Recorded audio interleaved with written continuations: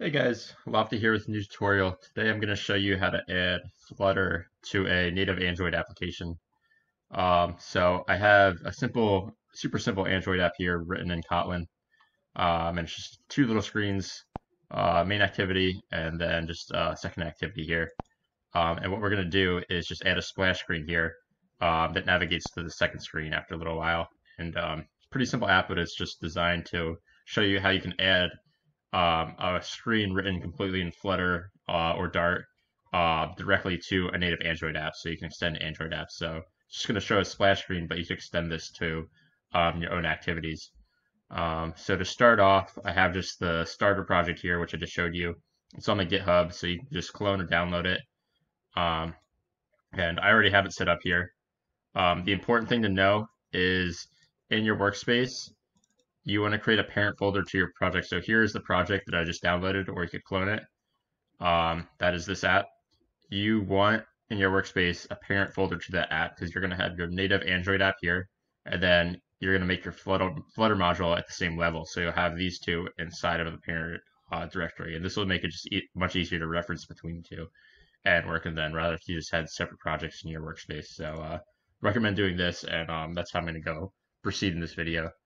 Um, so yeah, download this project or clone this project. Um, set your uh, set your project up like this, uh, how I just showed you, and then what you're gonna do is you're just gonna open the project in Android Studio, how you would any native Android um, project. Just file open it, or um, you could git clone it and open it through that way.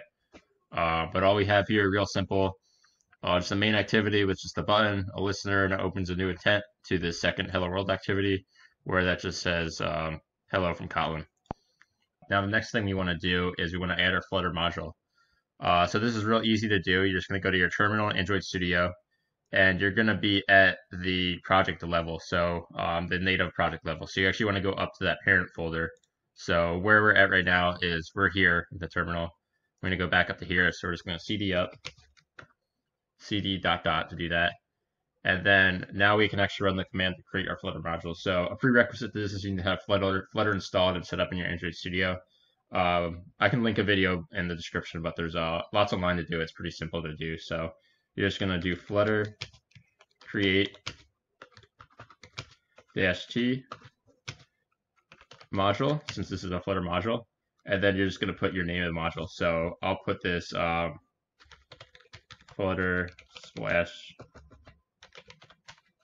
screen module there, just like that. And so that'll be your module name. So run that. Uh, it'll run a bit. It's gonna create some. Uh, it's gonna create the module for you and some files and such. And um, here you can see it created it right in that directory as you wanted it. So if you go in there and if you look at the file structure, if you're familiar with Flutter, you'll notice it looks just like a Flutter project. You got your lib. Uh, uh, the Android and iOS are a bit different, but you do have those in there. Um, and then you got your pubspec.yaml, um, et cetera, et cetera. So uh, uh, your tests, et cetera. So pretty similar if you're familiar with Flutter. So um, now the next thing we need to do is just configure a few more things in our uh, native Android project. Um, so the first thing we want to do is go to our uh, app level build.gradle. And inside of Android here, um, you need to have the compile options set to uh, Java 8.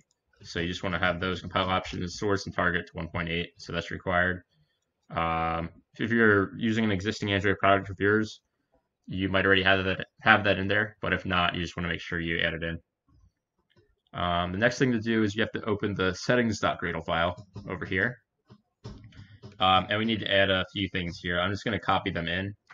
Uh, but you want to put this under include app, and you're just going to do set binding, new binding, and inside of that, Gradle this and then evaluate new file settings, blah, blah, blah, blah, blah. Um, the one important thing is whatever you named your module, uh, and if you forgot it, you can go over here, and I'm just actually going to rename, not rename it, but copy it um, and put it in here so I don't mess it up. But you just want to make sure that is the actual name of your uh, project. So you're going to sync it, and it's going to create some files for you, and uh, I think some actual code down here. Yep, right there. Um, so you just want to, that's all good. Uh, don't mess with that. And uh, after you do that, oh, make sure you sync it as well. Uh, and then the last thing we would need to do for the setup is uh, go into our back into our app build.gradle um, and go to our dependencies. And inside of here, we just need to uh, add the, the Flutter project to uh, as a dependency. So once you sync that again, uh, then we're pretty much ready to go, ready to jump into editing the Kotlin to uh, open up our um, Flutter activity. That's what we're going to do. Um, so basically, to launch a Flutter activity, um, I'm actually going to delete this button because we don't actually need it. What we're going to do is we're going to launch a Flutter activity that's going to run our main.dart file as uh, any Flutter project would start with. Uh, and then that's going to execute any Flutter code um, we have in there. And then we're actually going to have Java in here with a uh, handler to post delayed. So after five seconds, it uh, will finish that activity and start a new activity, simulating a uh, splash screen. Um, so to start a Flutter activity, you would actually just do start activity. And then inside of that, you do Flutter activity and then create uh, default intent, and then just this for this activity. Okay, so I'm back. So it'll jump there. I actually imported a wrong intent with Flutter activity. That's why I can get um, access to what I wanted. So um, we're going to go here, start over, start activity, and do Flutter activity. And you actually want the IO Flutter and embedding Android, not the IO Flutter app. I used the wrong one. So do that, and then you get access to this uh, create default intent method, pass in this, um, and that's what's actually going to launch it. And then because you um, did all the following commands linking your module to this project, it'll actually automatically just run your main dot, uh, Dart from that. So you don't really have to do anything special besides that. Um, and then what we're actually going to do to simulate a um, splash screen is we're going to do a handler, make a new handler, uh, dot post delayed. Um, and then with that, going to get an intent, uh, have it be a new intent. And then do this main activity because that's what we're, we're in. And then what we do want to open is the other one, which is hello world, hello world activity. And that's just going to be a class.java, just like that. Um, then we want to start the activity. Standard stuff here. Um, and then we just want to actually finish the activity we're currently in, which is going to be uh, sort of this activity holding the Flutter activity almost, if you can think about it like that. Uh, and then we just want to say a time. Uh, I'm just going to do 5,000 milliseconds to 5 seconds. It'll um, end up starting a new activity and finishing this one. So we'll see the Flutter, Flutter splash screen for 5 seconds, and then we'll navigate over to here. Okay, so now that we have that, uh, there is uh, one last thing is we need to make sure we add that activity to our manifest. So just like you do any anytime you add an activity, you need to make sure we add our, our Flutter activity. Um, so I'm actually going to paste this in here, and then I'll show you it. Um, so right under your, your other activities, um, under this one actually, we'll put it, uh, just a normal activity block. You're going to have the name. It's going to be that package of the Flutter activity that you imported here. So you could copy that over here. That's the name. Uh, there's a whole bunch of config changes. Um, you can look into what all these are for yourself, but um, for the basic thing we're doing, I would just put those in there. It'll, it'll work nicely. Um, make hardware accelerator true, and Windows soft implement mode um, adjust resize. And you can look all these up to play with them as it fits your needs. But we'll just leave those in there like that for now. And so that's it. That's all the changes we actually need to make on the uh, native Android side. Um, so what we're going to do now is we're going to open the Flutter module in a completely new project. So we'll just leave this here. We're going to open, and then uh, it brings us actually right where we want to be. So the Flutter splash screen module, we're going to open that. Um, and sometimes it gives you some some Gradle warnings. You can just hit OK.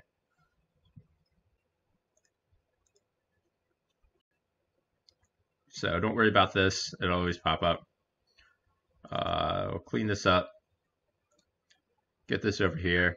Um, and yeah, as I mentioned, when you open this, you'll see it looks just like a normal uh, Flutter application.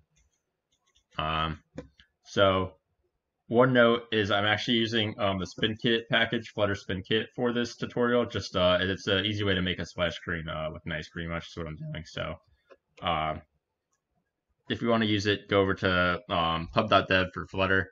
Uh, just look up Flutter Spin Kit and then uh, you can find the dependency here. So um, I'll go ahead and grab that. Go over to our pubspec.yaml. Uh, go down to our dependencies. Uh, put it here. Packages.get.